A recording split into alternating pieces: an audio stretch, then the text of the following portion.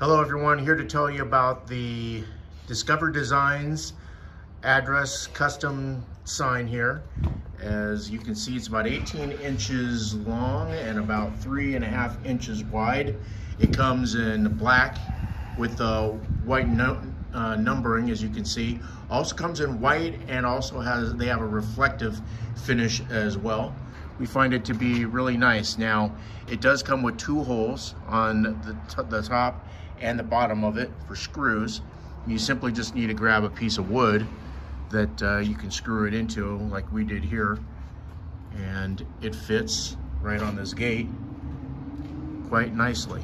So much better for the curb appeal. Uh, some people have some issues. They said that they were expecting a black mat uh, when uh, it comes to the sign and they also found that the sign to be a little bit on the thin side but uh, this definitely serves our purpose.